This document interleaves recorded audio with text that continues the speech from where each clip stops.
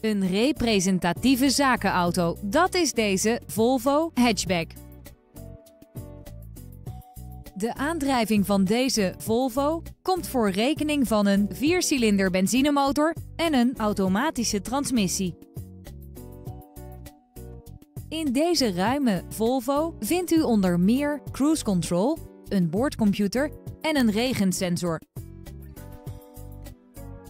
Deze auto valt onder het Volvo Select Occasion label en wordt geleverd met Nationale Autopas. Nieuwsgierig? Bel ons nu voor een proefrit.